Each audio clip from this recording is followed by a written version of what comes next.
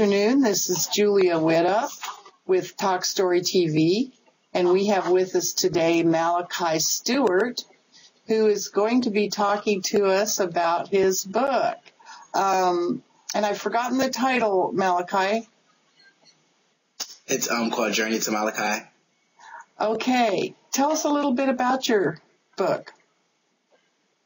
Sure. Um, Journey to Malachi is it's a biographical um, portrait, um, uh, really the inside um, details of like what sexual how sexual abuse um, affects people generally. Um, it's, it's the story of, of, my life and just how I dealt with sexual abuse as a young child, um, and the confusion it caused. Um, sexually, of course, because you know you have a lot of different elements you deal with, like sex, same-sex attraction, especially being a male with a um, same-sex abuser, and just all of the emotional and just physical effects that it had on my life. Um, and then just you know, I, I was I I was a Christian, being an active Christian Christian and dealing with, you know, confusion, sexual confusion, and just how the um, the church didn't really know how to respond to that. And so I just really take people through my life and eh, throughout the book and just through all the hard times and through all the good times, but it's very honest look. Um, because I think a lot of times people, or I have found, um, that when people write about the subject, they kind of write in a way that's kind of general and they kind of, you know, gloss over the actual feelings, you know, that the person had or what it really feels like to go through those things or how hard it is or what kind of thought processes are going through from a child. You know, I start off the book and I'm about six. And so, you know, I'm leaving off as an adult and just the different things that I had to go through the phases in life, the, even the after effects, um, in my personality, like, you know, being extremely rebellious and, and, um, having problems with authority, things calls from, you know, j- just being abused. And I think a lot of times people, uh, feel like it's a weakness to say that something happened to me and it caused me to, to not be okay. And so I just wanted to, to kind of not just show the downside or kind of dwell on the negativity, but kind of lead people on my journey, um, because it, it ended well. My journey ended with healing uh-huh. and with wholeness. And I wanted to give people hope that even something that starts off very negative and something that starts off very dark and very perilous, it can end, you know, in hope and it can end with, with, with joy. Because not only am I, am I going through the book, um, finding myself, you know, journeying to myself, but I'm asking questions along the way, like, you know, well, who is God and, and why did he allow this to happen to me? And dealing with the, the realities of growing up, um, in church and seeing people, you know, talk about all these wonderful things that God had did had done for them, or even seeing people. Um, I, I grew up in a, more charismatic church movement, so people were, you know, um, more accepting of the prophetic movement and praying, and people were sharing things that, that God had given them insight into other people's lives. And so I felt really invisible. Like nobody ever saw me and nobody ever reached out to me. And so I just, I just deal with all of that. And even, I guess lastly, even, um, the parental dynamics, you know, between, I grew up in a single parent household. And so I, I, I wanted to also kind of write this so that parents would have a warning, you know, and something to take heed for as to what happens when a child is not covered. The, when they're not watched. Warning signs to watch for? Right. Because a lot of parents, like my mom grew up, um, she grew up extremely impoverished, um, and she grew up from a broken family. And, you know, there was no, no level of normalcy. And so she thought that her, she was that the she was a good parent if she provided for me, and there was always provision even when we didn't have a lot. There was I've, I've never not had you know the light bill working or never not had gas. I never mm-hmm. sat in the cold. I never, so my mom provided for me. She always worked and she always did what she had to do. But because of that, I was always, I was alone a lot and I wasn't, I didn't, I wasn't covered and she didn't see some of the signs that were very obvious because she was working. And yeah. so it was so shocking to her to find out that this whole time something still, even though you did your best, something still happened. And, mm-hmm. and it wasn't something that I think um, parents can prevent, but I just wanted them to see like it, the, the, warning signs and to see that it's it, it's more than just working and providing the physical needs of your child. It's important to pay attention to them and to ask questions like, why does a child go from being happy to you know all of a sudden these these drastic personality changes. So I just wanted parents to be aware of it because it doesn't just affect a childhood and, and, children don't forget what happened to them. It, it, it does affect you long term. It does change who you are as a person and something dies when your innocence is taken away. And so I wanted them to, to know that. And, and I wanted the children who had lost something to know that there is purpose that you can find from the pain. That there, it doesn't have to just be like this happened to me and I spend the rest of my life in prison. So, so that's why I wrote the book and that's what the book is really about. Hmm. And did you go into counseling or how do you tell them what what they can do if they're dealing with it right now? Absolutely. I, I am definitely an avid supporter of counseling. Even my counseling was um, for the most part, was um, Christian counseling. Mm-hmm. So it was more religious and spiritual. I definitely, though, want to say I support both. I think that if you were to ask me, I would support going to receiving religious counseling as well as um, more more um, natural counseling, counseling outside of um, religion. I, I, think both. I think therapy is completely instrumental. Um, I have done some therapy outside of religious settings, um, but I, I, actually plan to do more. I, I, think that the the issue is so deep and it's mm-hmm. so vast. I don't think that even in even after recovery. And I don't consider myself a survivor. I definitely consider myself an overcomer. But even even as an overcomer, I think there's still issues, there's still things that I, that you always need to deal with, and just keep the conversation open. What what helps us heal is talking about it.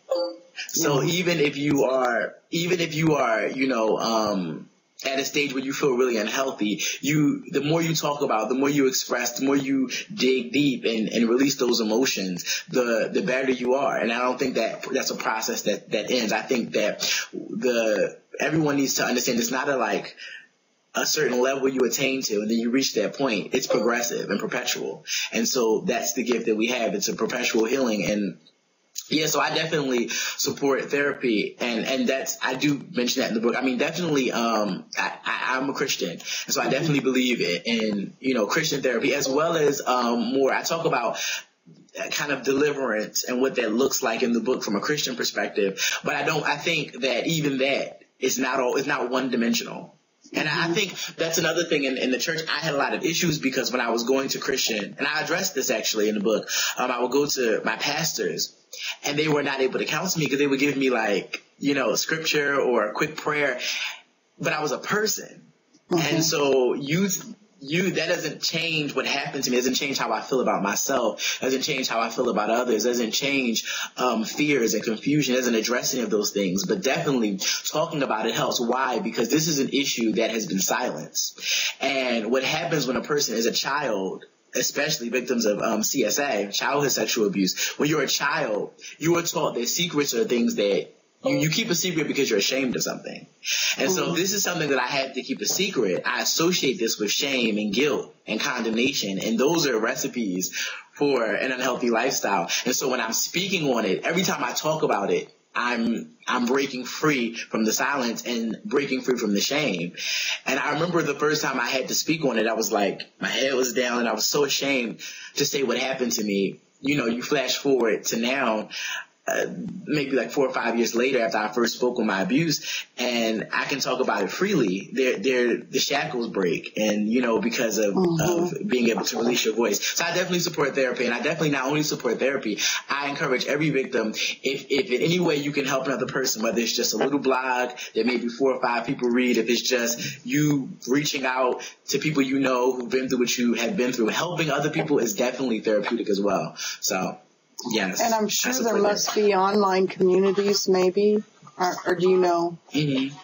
Definitely. Um, for, for male survivors, one of the, um, the best, um, online communities I have seen for male survivors is, uh, malesurvivors.org. Mm-hmm. They are extremely phenomenal. There is a ton of male survivors on there. The first thing you will feel is not alone. um, they have active chat they have active chats, um, so you can maintain anonymity. Um, they have a lot of forums. There's so much information. Um, also, I'm a um, part of RAINN. Um, I'm a, a, part of the Speakers Bureau for RAINN, um, which is, is a organization. It's an organization for um, survivors of rape, incest, molestation, and all types of abuse. Um, and the acronym is R A I I N I think I got that right. Um, hopefully, have you, you website? They do have a website. Um, it's rainn.org and they are phenomenal as well. And they can, they'll put you into contact with any of the, um, any resources that you might need. Um, for your for what you have gone through specifically. They have a hotline as well, um, and I don't know the the the number to the hotline offhand, but it's definitely um, something that you can Google um, because it's, it's RAINN is one of the most popular, and they're based in DC, and they do an awesome job. Um, this is this is a place where people who want to hold um, people who want to hold events for sexual abuse or want to kind of reach out to the community, this is who you would talk to. So even as in Philadelphia, if somebody is wanting or the media wants to talk about the issue, RAINN contacts victims like or survivors like myself, and we are able to share our stories. So I think that's definitely an awesome um, tool and goal. Also, um, there's a ministry called Exodus, Exodus International, and they do a phenomenal job um, giving Christian counseling. So if you look at Exodus International, they will tell you in your area all of the um, Christian locations you can get help from. Also, if you are struggling with same-sex attraction, which I want to be clear about, it's not the same thing as saying that you know um, you have chosen a lifestyle of homosexuality. People who are struggling with same-sex attraction are people who don't necessarily feel like they're that's who they are. They just, you know, neurologically, if your first experience sexually was with the yeah. same sex, then muscle memory, everything remembers that. And so they, these are people who don't feel like they, they feel like their identity hasn't been one they've chosen, but one that was more put on them. And so Access International does an awesome job. Um, also in Philadelphia, there's an, another place called, um, Harvest USA their website, I believe, is harvestusa.org, and they do an awesome job. So there are a lot of resources out there, um, more resources out there than than were out there when I, I think I was um, going through my, my, own transitional period. And so I definitely encourage people to take advantage of it because it's an awesome, it's an awesome, it's awesome to feel like there's a lot of support behind you and a lot of people to, you know, help you out. Also, I wanted to say that malesurvivor.org is geared towards males but there's a lot of support on their site for for non-males, for, for females as well.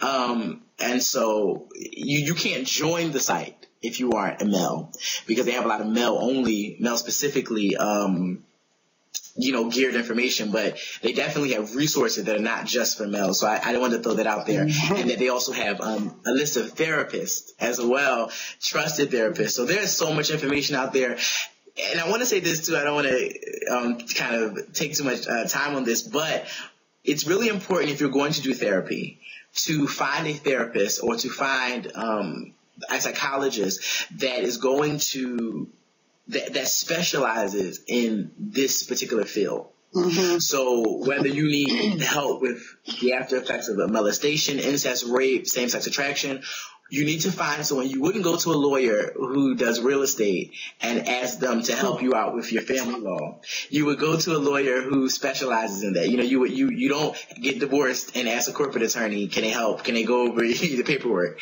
You want people who specialize. And so for this, you want people who specialize in it. If you're a male, you want people who even specialize on male survivors and same sex. You want you, you know, whatever it is, if you're a female, same, because you don't want to, therapy, if, if not taken, you know, properly, if, the proper research isn't put into it, it can be detrimental. You don't want to mm-hmm. sit and have someone who doesn't understand you across from you because it's very, very hard. And I know that firsthand. So I, I definitely wanted to say that while we were on the subject. Yeah, I know that too. Do, do you cover this in your uh, guest blog at uh, TV Backstory? The guest blog that you did um, for us? At, at TV, at the guest, in the guest blog, I don't think I cover um, therapy as much. Um, I think in the guest blog, I just kind of um, give an overview of where I was, where I've where I've come from, and, and my relation to the subject, um, and why I wrote the book.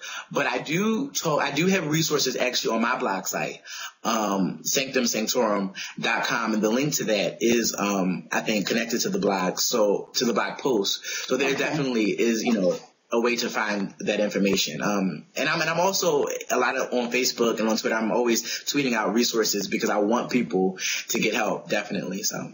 So I would encourage people to go to tvbackstory.com and read Malachi's um, blog, where he um, gives more of this information.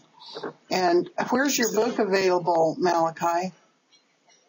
Currently, my book is available um, on Amazon.com. Mm-hmm. as well as barnesandnoble.com. So that's where I'm at right now. And I'm a new author, my a first time author. So I'm, you know, starting to meet with bookstores. I actually have mm-hmm. a meeting today with some local bookstores. So we'll see if we can get, um, Journey to Malachi in more places. Um, but for now, you definitely can order off Amazon and barnesandnoble.com, which I'm, I'm excited about because they're very safe places, you know, to order from. And so definitely. You, how um, long did it take you to write this book? Well, interesting. I, I want to say it took me a year to write it, but in truth, I wrote the first part. Uh, I wrote the first part in probably less than a month. I just sat and wrote, and I didn't write again for like maybe three or four months. I just left it lot, totally abandoned the story, because you know you don't feel like you have anything valuable to say. You don't. I, I didn't feel like I had anything um, I had anything interesting or anything. I, I haven't gone to. I, am a religion. I'm a religion major. I haven't gone to school for um, you know, anything related to psychology or anything. So I thought, like, you know, I, there are a lot of people out there talking, and you know, everybody's fine. But I think when I was on um on campus at Drexel University, and I was doing ministry, and I was realizing how many people were affected by their abuse. Mm-hmm. And then I would just find myself always talking about it with people and always online.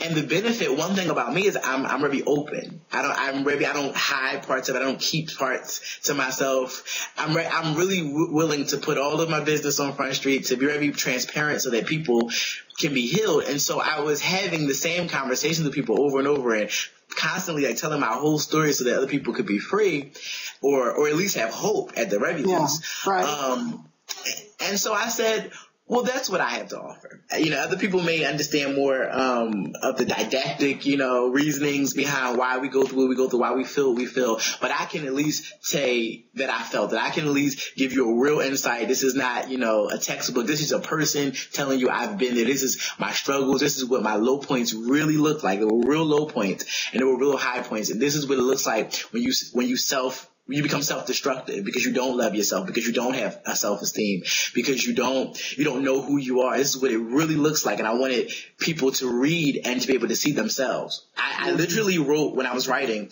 I thought about who I was and I said, I'm going to write everything that I needed to hear, everything that I needed a person good. to say to me. So that's what I really talk about in the blog post too. That's why you should go to, to Talk TV and, and look at the blog because I talk about that. I wrote for this little boy and not just for him. And when I was finished, I realized that his story was universal. I began to let other people read the book. And I went back and I would write long parts of it, um, just sitting there at night in my dorm room, just writing. And I would let other people read parts and they would say, wow, like that's my story. And I'm like, well, you're not, I mean, females are reading it, people who, who had not, who had not even been abused and who had grown up in what I thought was great childhoods. Um, you know, they yeah. grew up financially stable and everybody was happy, you know, mm-hmm. more like a, you know, a Huxtable situation. And, mm-hmm. and so, they were saying, no, but this is my story. And so I started to find as I was letting people kind of test read that it was a universal story because people may not be able to identify with abuse. They may not be able to identify with, um, sexual confusion, but they can identify with pain. They can identify with suffering. We all can identify with hopelessness. We all can identify um, with with fear, and and and so it, it, became it became something universal. And so no matter you know who you are, what it offers is hope. It does offer light. It does. We all have something that we're ashamed of. We all have something that we feel guilty about. We all have something some type of convictions that we don't meet up to that cause us to feel condemned. And a lot of us do have questions about God because I mean, I grew up so religious.